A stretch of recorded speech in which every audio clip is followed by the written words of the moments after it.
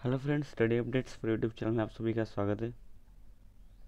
अगर आप पहली बार हमारे चैनल पर विज़िट कर रहे हैं तो हमारे चैनल को सब्सक्राइब करें और इसके बाजू में बेल आइकन है, उसे क्लिक करें, ताकि हमारे हर वीडियोज़ की आने वाली अपडेट आप तक सबसे पहले पहुँच सके। तो चलिए दोस्तों, स्टार्ट करते हमारी आज की वीडियो।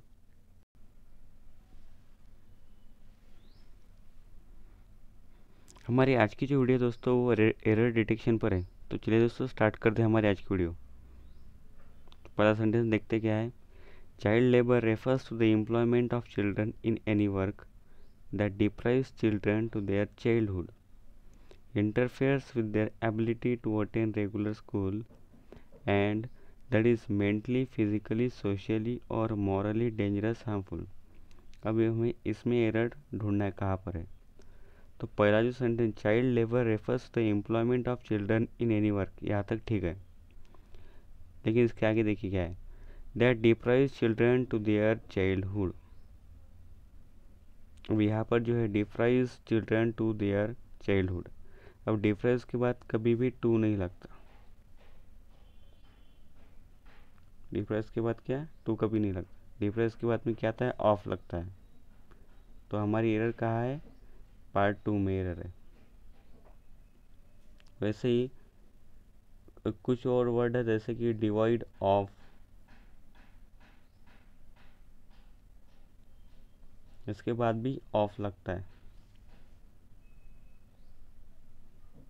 तो चलिए नेक्स्ट देखते हैं हमारा सेंटेंस अगला क्या है।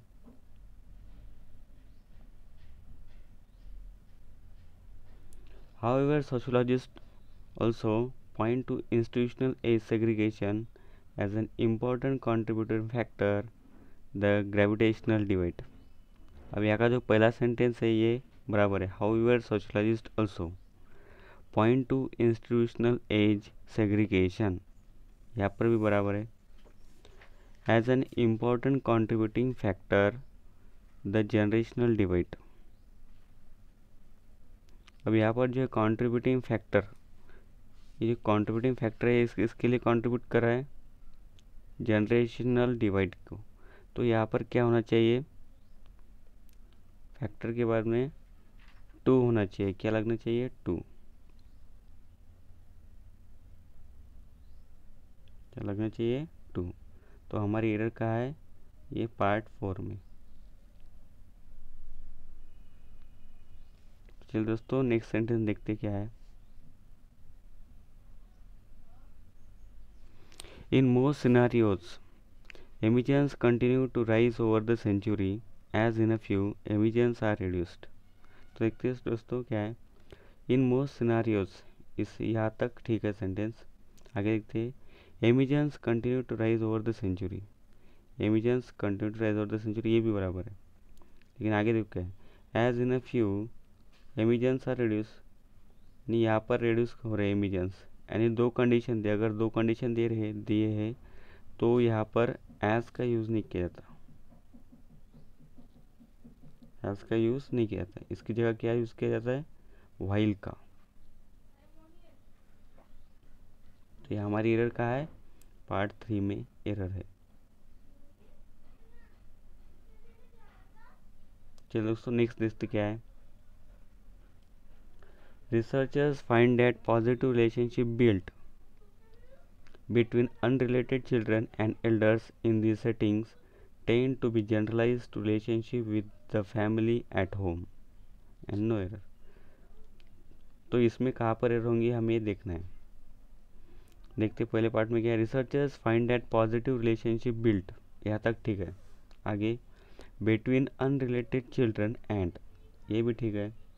Elders in this settings tend ये भी ठीक है।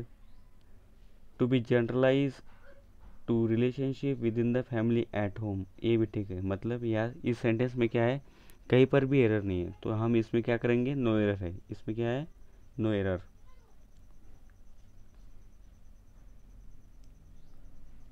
तो चलिए दोस्तों, आगे वाला सेंटेंस देखते क्या है? Christmas day is a public holiday in many of the world's nations is celebrated culturally by a large number of non-Christmas people and is an integral part of Christmas and holiday season. अब इस sentence में error हमें find करनी है कहाँ पर है? तो चलिए देखते है। Christmas day is a public holiday in many of the world's nations अब जो भी फेस्टिवल्स रहते हैं दोस्तों, उसके सामने द का यूज़ किया जाता है। कौन सा आर्टिकल का यूज़ किया जाता है? द आर्टिकल का। और यहाँ पर कौन सा फेस्टिवल दिया है? क्रिसमस तो इसके सामने क्या होना चाहिए? द तो हमारी जो एरर है, वो किस पार्ट में है? वो पहले पार्ट में है। यानी हमारी एरर किस पार्ट में है? पहले पार्ट में। चलिए नेक्स्ट सेंटेंस देखते क्या है। The main effect of this is on the riskiest and most vulnerable bits of oil industry अब इस सेंटेंस में हमें एरर फाइंड करनी है, किस पार्ट में एरर है? द मेन इफ़ेक्ट यहाँ तक ठीक है। ऑफ़ दिस इज़ ऑन ये भी ठीक है। आगे देखते थर्ड पार्ट में क्या है? द रिस्कीएस्ट ये भी है, ठीक है, क्योंकि सुपरिटी के सामने द यूज़ किया था। And most vulnerable bits of oil industry यानी सबसे वलनरेबल इफेक्ट्स किसके होने वाले हैं? तो ऑयल इंडस्ट्री के। जब किसी स्पेसिफिक बात के बारे में जानकारी दी जाती है तो उसके साथ में हम द का यूज़ करते हैं। किस आर्टिकल का यूज़ करते हैं?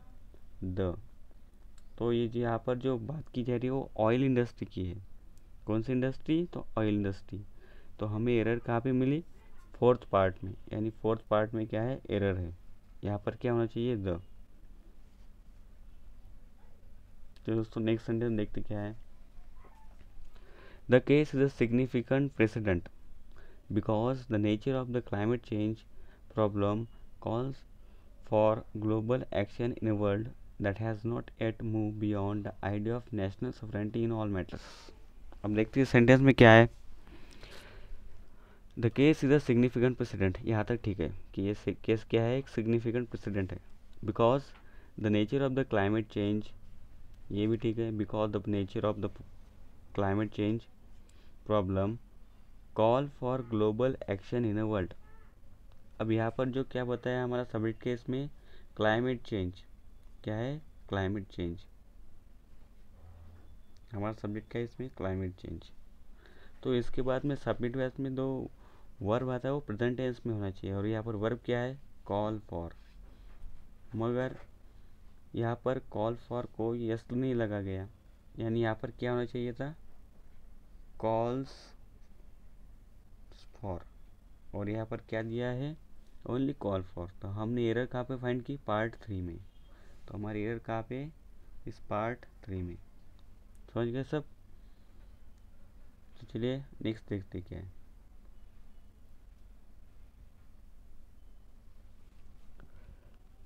A country can place to cut emissions by as much it wants and there will be no systematic और binding outside review of performance अब हमें इस सेंटेंस में एरर फाइंड करने का पे a country can place to cut emissions country को क्या करना है? एमिजेंस को कम करना है। By as much it wants जितना ये कम कर सकती है। By as much it wants and there will be no systematic और binding outside review of performance और उस पर कोई बाइंडिंग भी नहीं। अब कितनी प्रतिशत करना है? इसके लिए हम एक तो एज मच एज यूज़ करते हैं एज as much as या फिर as many as as many as. तो यहाँ पर क्या होना चाहिए? As much as. तो हमने एरर कहाँ पर फाइंड की? पार्ट टू में एरर है। कौन से इसमें एरर है? पार्ट टू में। चलो नेक्स्ट बढ़ते क्या है? The two leaders agreed to work together to the adoption of this villages कि टू लीडर्स है, वो एग्री हो क्या? है to work together to the adoption of this villages ये जो विलेजेस है, इनको अडॉप्ट करने के लिए दो लीडर्स के बीच में क्या हुआ है? एग्रीमेंट हुआ है। तो किसके लिए हो रहा है? किस काम के लिए हो रहा है? उसके लिए क्या यूज़ करते हैं? फॉर का यूज़ किया था। किसका यूज़ किया था? फॉर का। To work together for the option और यहाँ पर क्या दिया है? टू द अडॉप्शन तो ये टू द अडॉप्शन क्या है? ये रॉन्ग है। यहाँ पर क्या होना चाहिए? फॉर तो हमने एरर कहाँ पे डिटेक्ट की? या पार्ट थ्री में क्या है? एरर है।